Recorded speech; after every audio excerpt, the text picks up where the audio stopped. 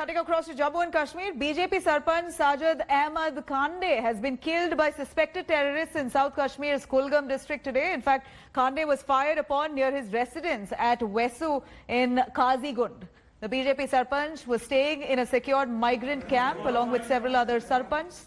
He had left the camp this morning to visit his house. Assailants fired upon him when he was just 20 meters away from the house.